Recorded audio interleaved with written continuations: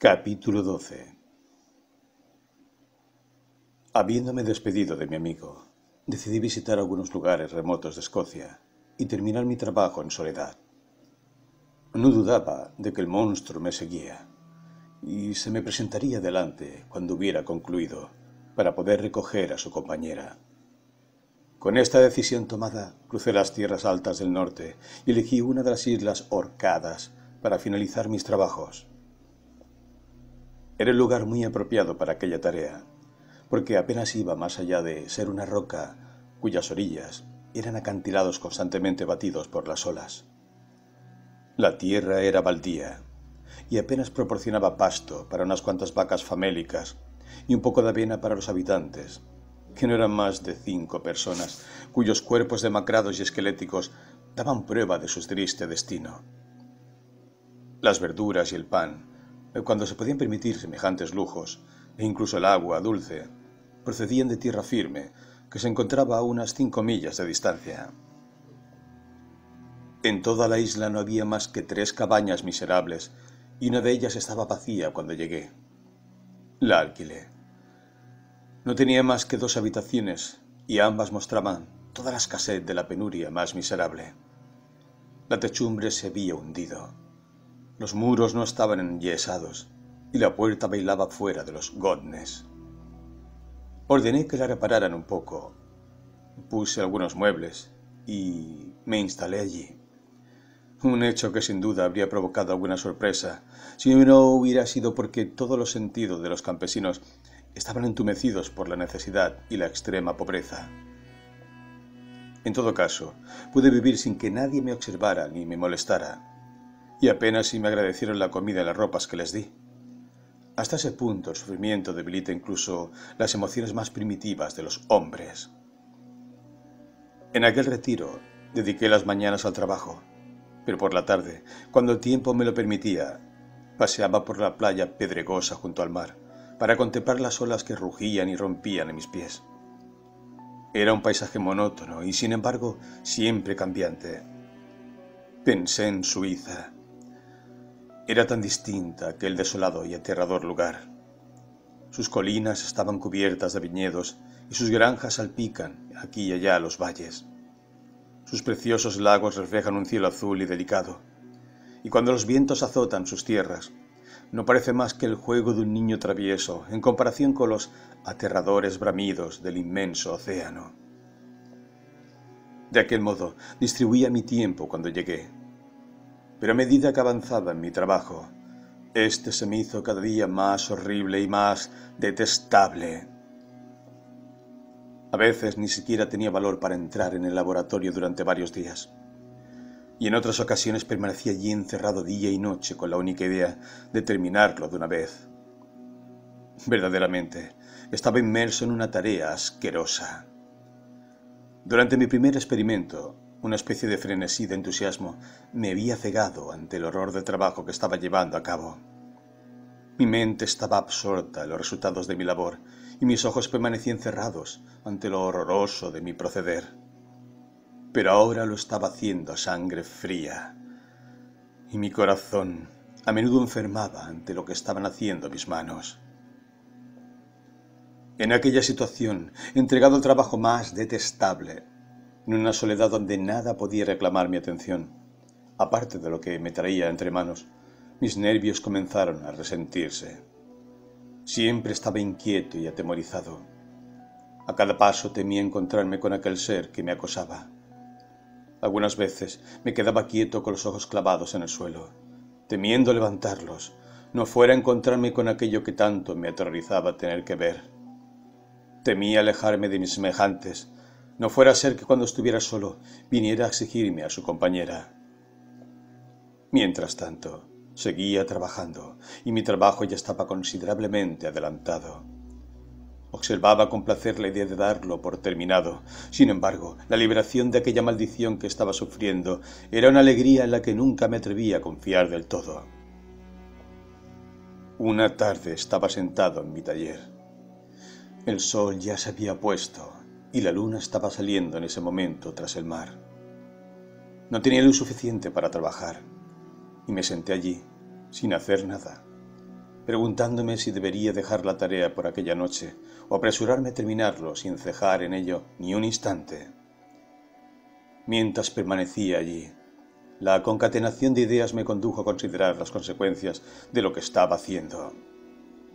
Tres años antes me había enfrascado del mismo modo y había creado un monstruo cuya violencia inconcebible había destruido mi corazón y lo había negado para siempre con los remordimientos más amargos. Y ahora estaba a punto de crear otro ser cuyo carácter también desconocía por completo. Aquella cosa podría ser diez mil veces más perversa y malvada que su compañero, y podría delitarse en el asesinato y en la villanía. Él me había jurado que se apartaría de los hombres y que se ocultaría en los desiertos, pero ella no. Y ella, que se convertiría probablemente en un animal pensante y racional, podría negarse a cumplir un pacto acordado antes de su creación. Puede que incluso se odiaran. La criatura que ella vivía aborrecía su propia deformidad. ¿Acaso no experimentaría un aborrecimiento mayor cuando la viera reflejada ante sus ojos en forma de una hembra. También puede que ella le volviera la espalda ante la belleza superior del hombre. Puede que se apartara de él, y así volvería a estar solo y enloquecería ante la nueva provocación de verse despreciado por uno de su propia especie. Aunque ellos abandonaran realmente Europa y fueran a vivir a los desiertos del Nuevo Mundo, tendrían la intención de engendrar hijos, y así se propagaría sobre la tierra una raza de demonios cuya figura y mente sumiría al hombre en el terror.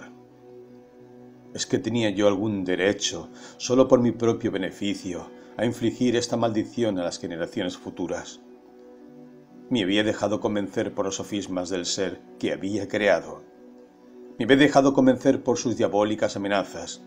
Y ahora, por vez primera, el horror de mi promesa se presentó claramente ante mí.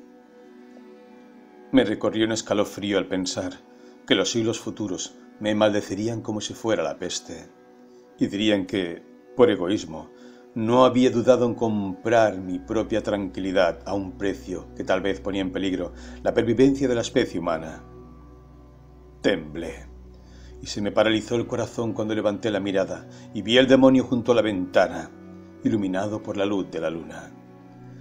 Una mueca fantasmal le retorcía los labios, mientras miraba hacia donde yo me encontraba. Sí, me había seguido en mis viajes. Se había detenido en los bosques, se había escondido en las cuevas o se había refugiado en los vastos páramos desiertos.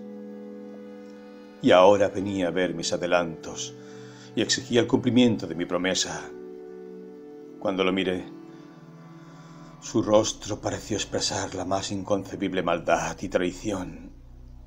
Pensé, con una sensación de locura en mi promesa de crear otro ser como él, y temblando de ira, hice pedazos la cosa en la que estaba trabajando. El monstruo me vio destruir la criatura, en la cual había fundado la felicidad de su futura existencia, y con una larida diabólica desesperación y venganza, se alejó. Salí de la habitación y cerrando la puerta, me juré de todo corazón no volver jamás a emprender aquellos trabajos. Y luego, con pasos temblorosos, busqué mi alcoba. Estaba solo. No había nadie cerca de mí para disipar la tristeza y consolarme ante aquellas terribles pesadillas. Transcurrieron varias horas y permanecí junto a la ventana observando el mar. Casi estaba inmóvil, porque los vientos guardaban silencio y toda la naturaleza descansaba bajo la mirada de la luna callada. Solo algunos barcos de pesca moteaban el agua, y aquí y allá una dulce brisa traía los ecos de las voces cuando los pescadores se llamaban unos a otros. Sentía el silencio, aunque apenas era consciente de su asombrosa profundidad, hasta que de repente llegó a mis oídos el chapoteo de unos remos cerca de la orilla y una persona saltó a tierra cerca de mi casa. Pocos minutos después oí el chirrido de mi puerta, como si alguien estuviera intentando abrirla muy despacio. Estaba temblando de la cabeza a los pies. Tuve el presentimiento de quién podría ser, y pensé en avisar a alguno de los campesinos que vivían en una casa no muy lejos de la mía. Pero me encontraba aturdido por esa sensación de impotencia que tan a menudo se vive en las pesadillas, cuando uno trata en vano de huir de un peligro inminente y le resulta imposible moverse. Entonces, oí el sonido de las pisadas en el pasillo. La puerta se abrió y el engendro al que tanto temía apareció. Cerrando la puerta, se aproximó a mí y dijo con una voz ahogada, Has destruido la obra que comenzaste. ¿Qué es lo que pretendes? ¿Te atreves a romper tu promesa? He soportado calamidades y miserias. Abandoné Suiza detrás de ti me arrastré a lo largo de las orillas del Rin, entre sus pequeños islotes y por las cumbres de sus colinas. He vivido durante muchos meses en los páramos de Inglaterra y en los solitarios bosques de Escocia. He soportado un cansancio que no puedes imaginar, y frío, y hambre, y te atreves a destruir mis esperanzas. Apártate de mí, contesté. Rompo mi promesa. Nunca crearé otro ser como tú, igual de deforme e igual de criminal. Esclavo, dijo el engendro. Ya intenté razonar contigo una vez, pero has demostrado ser indigno de mi condescendencia. Recuerda que yo tengo el poder. Tú crees que eres miserable, pero yo puedo hacerte tan desgraciado que incluso la luz del día podría resultarte odiosa. Tú eres mi creador, pero yo soy tu dueño. Obedéceme. Monstruo, dije. La hora de mi debilidad ha pasado y el tiempo de tu poder ha concluido. Tus amenazas no pueden obligarme a cometer un acto de maldad, sino que me confirman en la decisión de no crear para ti una compañera en el crimen. ¿O es que debo, a sangre fría, arrojar al mundo otro demonio cuyo único placer consiste en sembrar muerte y destrucción? Vete, no cambiaré de opinión, y tus palabras solo conseguirán aumentar mi furia. El monstruo vio la determinación en mi rostro e hizo rechinar los dientes la impotencia de su ira. Cada hombre tiene su mujer, y cada animal tiene una compañera, y yo tendré que estar solo. Grito. Tenía sentimientos de cariño, y todo lo que me devolvieron fue desprecio.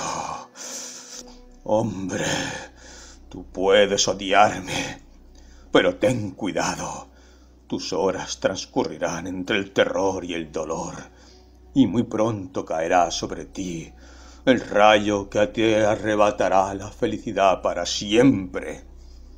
¿O es que piensas que vas a ser feliz mientras yo me arrastro en mi insoportable sufrimiento? Tú puedes negarme todos mis deseos, pero la venganza permanecerá. La venganza más amada que la luz o los alimentos, y puedo morir, pero antes tú, mi tirano y mi verdugo, maldecirás el sol que verá tu miseria. Ten cuidado, porque no tengo miedo y por tanto soy poderoso. Estaré observando con la astucia de una serpiente para morderte e inocularte el veneno. Hombre, te arrepentirás del daño que infliges. ¡Maldito demonio! grité. ¡Cállate! Y no empozoñes el aire con tus malvadas amenazas. Ya te he dicho cuál es mi decisión, y no soy ningún cobarde para asustarme por tus palabras. Déjame. Está decidido. Mm, muy bien dijo. Me iré. Pero recuerda, Estaré contigo en tu noche de bodas. Capítulo 13 Avancé decidido hacia él y grité. Miserable. Antes de que firme mi sentencia de muerte, asegúrate de que tú mismo estás vivo. Lo habría atrapado, pero me esquivó y abandonó la casa precipitadamente. Unos instantes después, lo vi subir a una barca que cruzó las aguas con la suavidad de una saeta y pronto se perdió en medio de las olas. Todo volvió a quedar en silencio, pero sus palabras resonaban en mis oídos. Ardían deseos furiosos de perseguir al asesino de mi tranquilidad y hundirlo en el océano. Caminé arriba y abajo a mi habitación, nervioso y conmocionado. Mi imaginación conjuraba ante mí miles de imágenes que sólo conseguían atormentarme y zaherirme. ¿Por qué no lo había perseguido y había entablado con él una lucha a muerte? Bien al contrario, le había permitido escapar y había dirigido sus pasos hacia tierra firme. Un escalofrío me recorrió el cuerpo cuando imaginé quién podría ser la siguiente víctima sacrificada a su insaciable venganza. Y entonces volví a pensar en sus palabras. Estaré contigo en tu noche de bodas. Así pues, ese era el plazo fijado para el cumplimiento de mi destino. En aquel momento moriría y por fin aquel monstruo podría satisfacer y aplacar su maldad. Aquella perspectiva no me infundió temor. Sin embargo, cuando pensé en mi amada Elizabeth, en sus lágrimas, en su infinita pena, cuando comprobara que se le había arrebatado su amante de un modo tan cruel. Las lágrimas, las primeras que había derramado muchos meses, anegaron mis ojos y decidí no caer ante mi enemigo sin entablar una batalla feroz. La noche pasó y el sol asomó tras el océano. Mis sentimientos se calmaron si puede llamarse calma, a ese estado en que la furia violenta se hunde en las profundidades de la desesperación. Abandoné la casa, el espantoso escenario de la lucha de la noche anterior, y caminé por la playa junto al mar.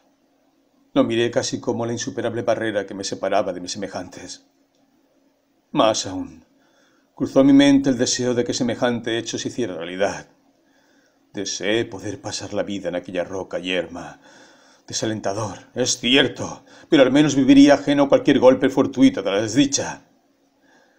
Si regresaba, era para ser sacrificado o para ver morir a aquellos que más quería bajo la garra de un demonio que yo mismo había creado.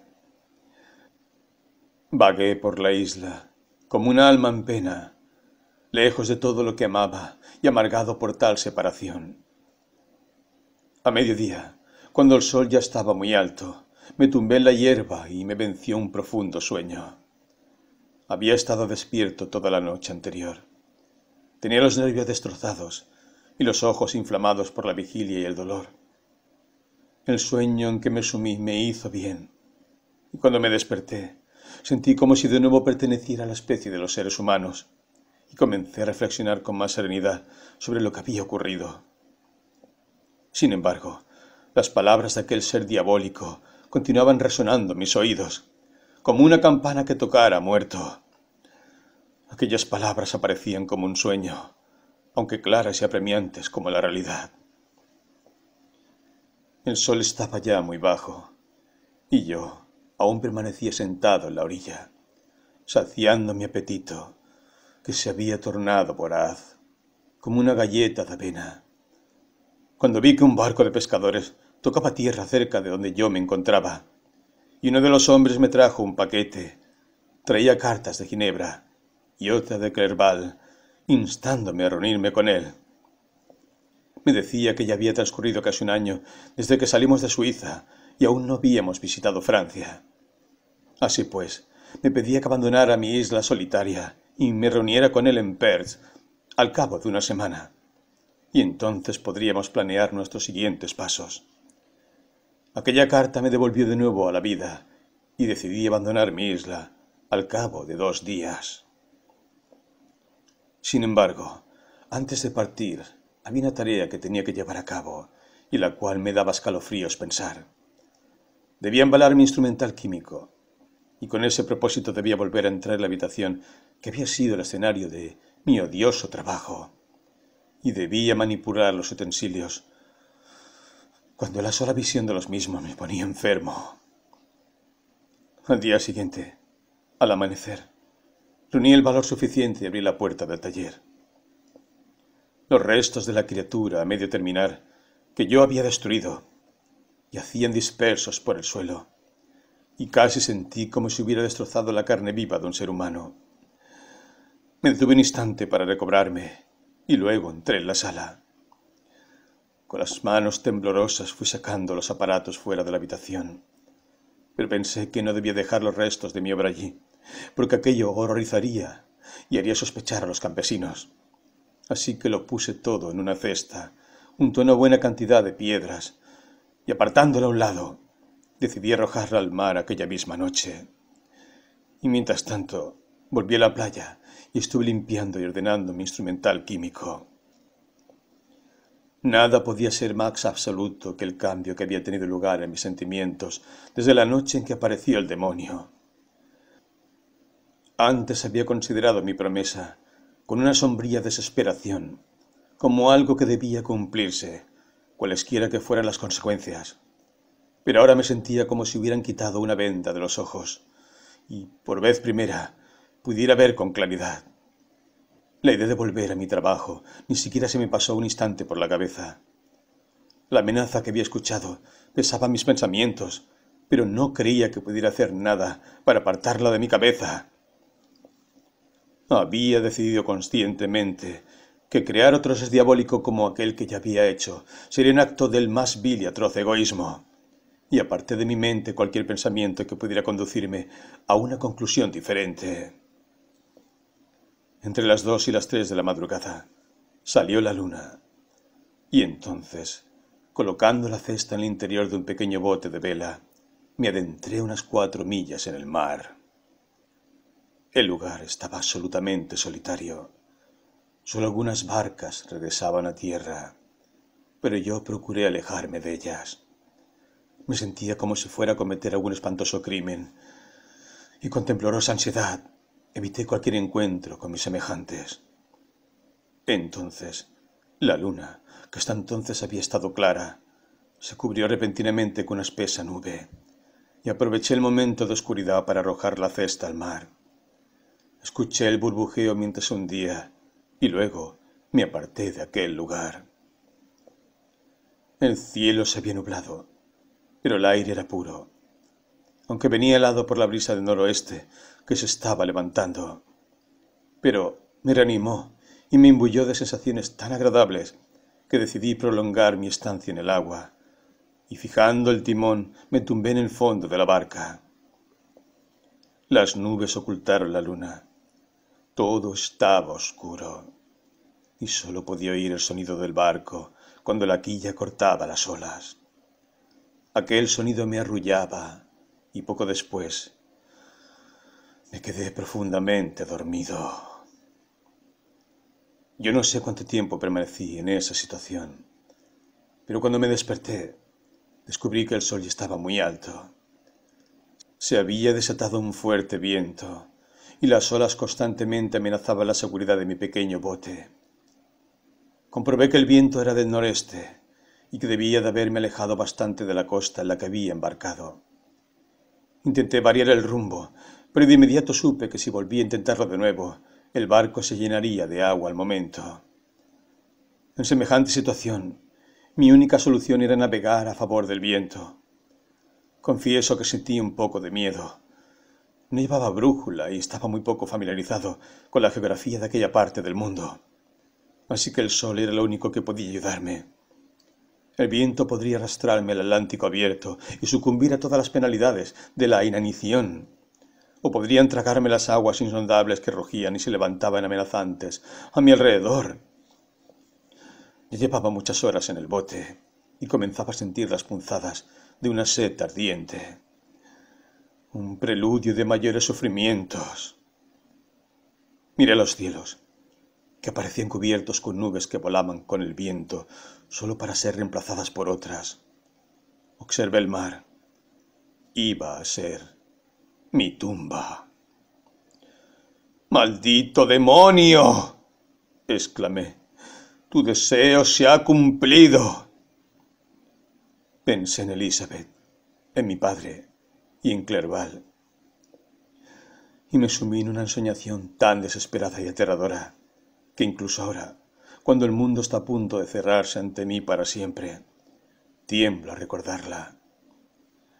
Así transcurrieron algunas horas pero poco a poco, a medida que el sol iba descendiendo hacia el horizonte, el viento se fue transformando en una ligera brisa y el mar se vio libre de grandes olas. Pero aquello dio paso a una fuerte marejada. Me sentí enfermo y apenas capaz de sostener el timón, cuando de repente vi el perfil de tierra firme hacia el sur. Casi agotado por el cansancio y el sufrimiento, Aquella repentina esperanza de vivir me embargó el corazón como una cálida alegría, y mis ojos derramaron abundantes lágrimas. Qué mudables son nuestros sentimientos, y cuán extraño es ese apego tenaz que tenemos a la vida, incluso cuando estamos sufriendo horriblemente. Preparé otra vela con parte de mi indumentaria intenté poner rumbo a tierra con ansiedad. La orilla tiene un aspecto rocoso, pero a medida que me fui aproximando más, vi claramente señales de cultivos. Vi algunos barcos cerca de la orilla, y de repente me vi transportado de nuevo junto a la civilización humana. Recorrí con inquietud las formas del terreno y descubrí con alegría un campanario, el cual vi elevarse a lo lejos, tras un pequeño promontorio. Como me encontraba en un estado de extrema debilidad después de tanto esfuerzo, decidí dirigirme directamente hacia la ciudad porque sería el lugar donde podría procurarme algún alimento más fácilmente. Por fortuna, llevaba dinero. Al rodear el promontorio, descubrí un pequeño pueblecito y un puerto en el que entré, con el corazón rebosante de alegría ante mi inesperada salvación. Mientras yo estaba ocupado amarrando el barco y arriando las velas, varias personas se congregaron en el lugar. Parecían muy sorprendidas ante mi aparición, pero en vez de ofrecerme su ayuda, susurraban y hacían gestos que en cualquier otro momento podrían haberme producido una leve sensación de alarma. Pero en tales circunstancias, simplemente observé que hablaban inglés y por tanto me dirigí a ellos. Amigos míos, dije, ¿serían tan amables de decirme cómo se llama este pueblo y dónde estoy? Hmm, pronto lo sabrá, contestó un hombre bruscamente. Puede que haya llegado a un lugar que al final no le guste mucho, pero no le van a preguntar dónde le apetece alojarse, se lo aseguro. Yo estaba extraordinariamente sorprendido al recibir una respuesta tan desapacible por parte de un extraño. Y también me quedé perplejo al ver los rostros ceñudos y enojados de las personas que lo acompañaban. ¿Por qué me contesta con tanta brusquedad? repliqué. Desde luego, no es costumbre de los ingleses recibir a los extranjeros de un modo tan poco amistoso.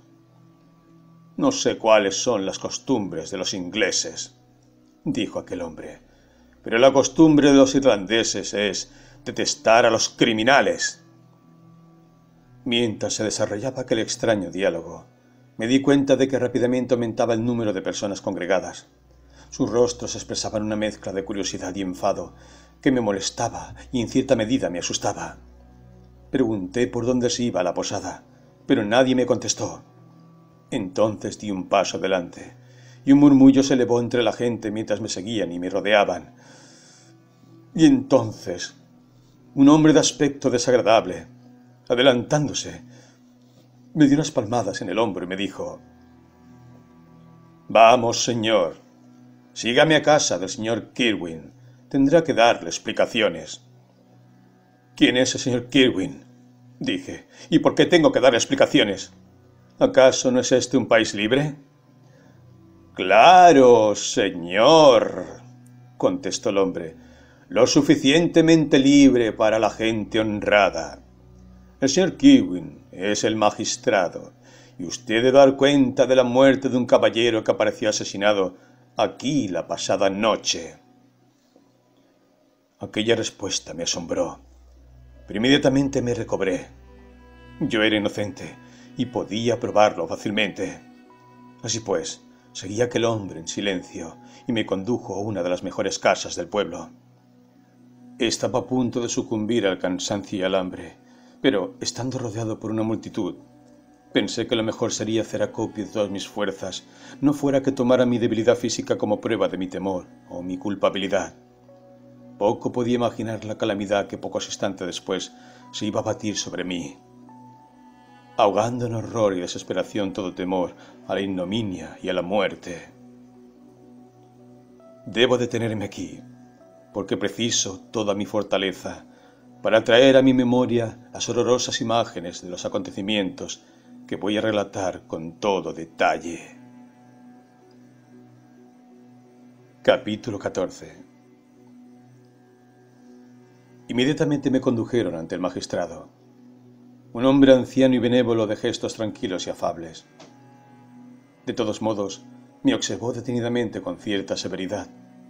Y luego, dirigiéndose a las personas que me habían llevado hasta allí, preguntó quiénes habían sido testigos en aquella ocasión. Alrededor de una docena de hombres dieron un paso al frente, cuando el magistrado señaló a uno, éste dijo que había estado toda la noche anterior pescando con su hijo y su cuñado, Daniel Nuyen, y que entonces Hacia las nueve de la noche vieron que se levantaba una fuerte marejada del norte y que por tanto pusieron rumbo a puerto. Era una noche muy oscura, porque no había luna. No atracaron en el puerto, sino que, como era su costumbre, en una cala que se encontraba unas dos millas más abajo. Él se adelantó llevando parte de los aparejos de pesca, y sus compañeros le seguían a cierta distancia. Mientras iba caminando por la arena, tropezó con algo y cayó en tierra todo lo largo que era. Sus compañeros fueron a ayudarle y a la luz de los faroles descubrieron que se había caído sobre el cuerpo de un hombre que, según todas las apariencias, estaba muerto. Su primera suposición fue que se trataba del cadáver de alguna persona que se había ahogado y que había sido arrojado a la orilla por las olas. Pero después de examinarlo, descubrieron que las ropas no estaban mojadas y que el cuerpo ni siquiera estaba frío todavía.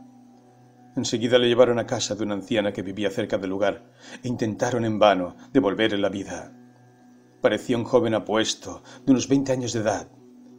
Al parecer había sido estrangulado, porque no había señales de violencia excepto la marca negra de unos dedos en su cuello. La primera parte de aquella declaración no tenía el menor interés para mí, pero cuando se mencionó la marca de los dedos, recordé el asesinato de mi hermano y me puse muy nervioso.